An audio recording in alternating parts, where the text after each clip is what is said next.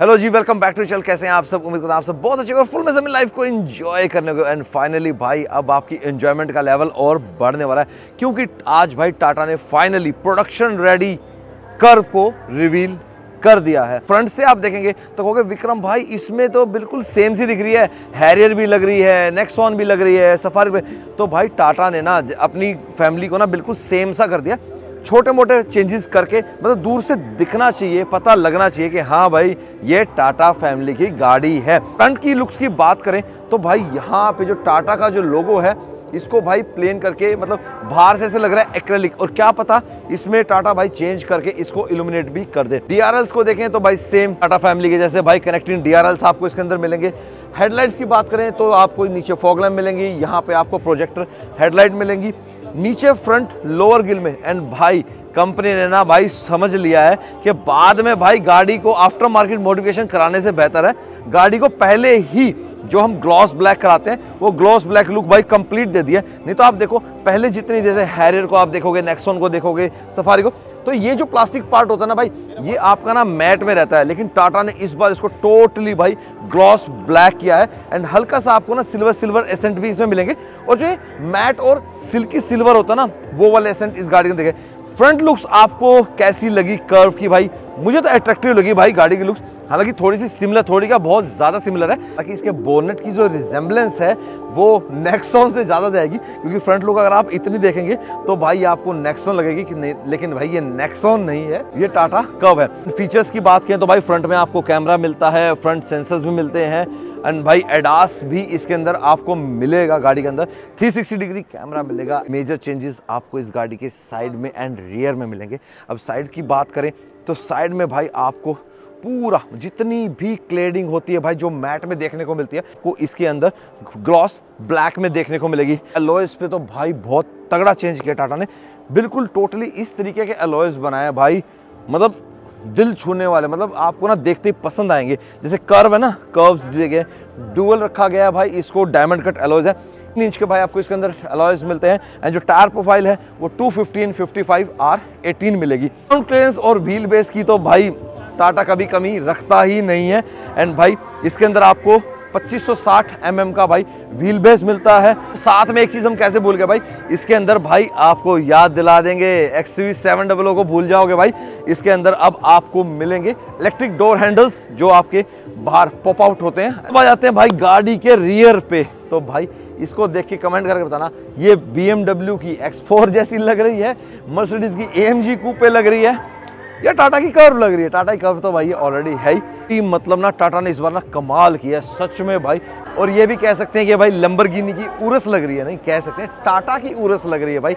और एक चीज़ आपको इसके अंदर ना क्लियरली बताया हूँ। टाटा की गाड़ियों में आपने मोस्टली देखा जैसे टियागो को जब टिगोर किया गया था तो जो उसकी डिग्गी है ना, जितनी आपको ये रेड रेड दिख रही है, इतनी ही ओपन होती है। लेकिन इसके साथ टाटा ने ऐसा बिल्कुल नहीं किया भाई। कूपे शेप दी है तो डिग्गी भी कूपे की तरह ही खुलेगी। इसका ग्लास और डिग्गी एक साथ कनेक्टेड है और भाई एक साथ ही खुलेगा। इस बात की तो मैं आपको श्योरिटी देता हूँ। इतना तो भाई ऑटोमोटिव 17 दूर से देख के पहचान लेता है। और रियर लुक्स की बात करें तो फ्रंट से ज़्यादा भाई मेरे को इसका रियर लुक ना ज़्यादा पसंद आया। कनेक्टिंग टेल लाइट्स आपको मिलेंगी। ये चीज़ आपको भाई कहीं ना कहीं हैरियर की नेक्सोन की, इन सब की ही याद दिलाएगा। रियर में दो पार्किंग सेंसर्स हैं बैक कैमरा है। एक ना लुक ना बड़ी सटल सी लग रही है। मतलब ऐसा नहीं लग रहा है कि कहीं से कुछ निकाल के, कहीं भी ऐसे लगा दिया। नहीं भाई, बिल्कुल ऐसा नहीं किया गया है। बहुत अच्छे तरीके से भाई इसको डिज़ाइन किया गया फ्रंट लुक्स से बेहतर मेरे को इसके रियर लुक्स लगे। शार्कफिन एंटीना आपको मिलेगा पेनरोमिक सनरूफ भी आपको इसमें मिलेगी। फीचर्स की तो भाई टाटा ने भरमार कर दिया। इंटीरियर को देखोगे ना तो इंटीरियर की भी रिजेंबलेंस आपकी कहीं ना कहीं जो टाटा की नेक्सोन है, उससे भाई मेल खाती है। कि आप ये कह सकते हैं कि फ्रंट से नेक्सोन रियर से टोटली न्यू लुक और ग्राउंड क्लियरेंस भाई, मैं इसके नीचे से जाके ना आगे से निकल सकता हूँ। इतनी तगड़ी ग्राउंड क्लियरेंस दे रखे हालाँकि टाटा ने अभी तक इसको रिवील नहीं किया है कि हमने इसकी ग्राउंड क्लियरेंस कितनी की है। लेकिन इतना ज़रूर बता दिया है कि इसके अंदर आपको मिलेगा 1.5 लीटर का diesel engine with manual transmission जो पावर प्रोड्यूस करेगा आपकी।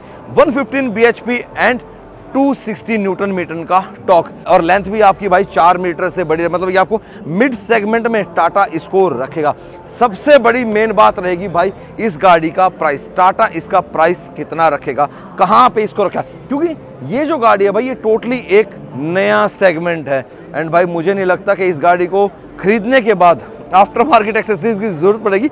यार लुक एट द कार यार। ग्लॉस ब्लैक इतना अच्छा फिनिश किया है टाटा ने इसके अंदर। आप चाहे रियर में देख लीजिए, चाहे साइड में देख लीजिए, कहीं से भी देख लो भाई। अच्छा एक चीज़ और है, गाड़ी में आपको ग्लॉस ब्लैक मिलेगा, लेकिन सिर्फ़ एक जगह है गाड़ी की साइड बीडिंग वहाँ पे टाटा ने भाई हल्का सा क्रोम आपको दिया है। इसको भी ब्लैक कर देंगे तो ठीक रहेगा। जब गाड़ी डिलीवरीज के लिए रेडी हो मतलब प्रॉपर लॉन्च होगा, क्योंकि अभी खाली ये रिवील की गई है, बताया गया है कि ये एक प्रोडक्शन स्पैक गाड़ी है। इस वगैरह भाई गाड़ी में अच्छा मिलेगा, पच्चीस सौ एम का व्हील बेस है इसके अंदर। एंड इस सेगमेंट में क्रेटा के अंदर आपको छब्बीस सौ एम का व्हील बेस मिलता है। Even X V three double O भी आपको छब्बीस सौ एम व्हील बेस के साथ मिलती है। पेस के मामले में टाटा भाई सबको बीट कर देता है। अपने सेगमेंट में जितनी भी गाड़ियाँ हैं टाटा की भाई, और सब गाड़ियों में टाटा ने ज़बरदस्त स्पेस दिया है। तो भाई मेरे को तो टाटा का भाई बहुत अच्छी लगी। बहुत जल्द ये गाड़ी लॉन्च होने वाली है। टाटा क्लियरली अभी नहीं बता रहा है कि वो इस गाड़ी को कब लॉन्च करेगा। लेकिन अगर भाई टाटा ने इसको रिवील कर दिया है, क्योंकि बहुत सारे स्पाई शॉट्स इसके आ चुके हैं। किसी ने प्लांट से, किसी कहीं से बहुत बार रिवील कर दिया। टाटा ने हार के कहा रहे छोड़ो तुम सारी बातें, हम क्लियरली रिवील कर देते हैं। तो भाई, आज मैंने आपको क्लियरली दिखा दिया गाड़ी में।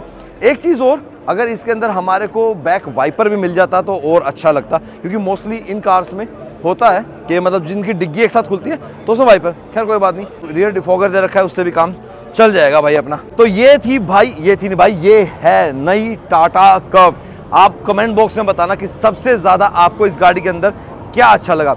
इसके अलॉयज अच्छे लगे ग्लॉस ब्लैक अच्छा लगा रियर ज़्यादा अच्छा लगा फ्रंट ज़्यादा अच्छा लगा या इंटीरियर हालाँकि इंटीरियर अभी इतना क्लियर नहीं है। अभी नज़दीक से वीडियो को बनाएँगे। इतना मैंने देख लिया भाई, आराम से क्लियरली कि जो अपने दरवाज़ों के गत्ते हैं, वो भी नेक्सोन से मेल खाते हैं। फ्रंट डैशबोर्ड में भी आपको नेक्सोन की झलक मिलेगी। पर आप बताना मेरे को, क्या आप इस गाड़ी को परचेज करोगे?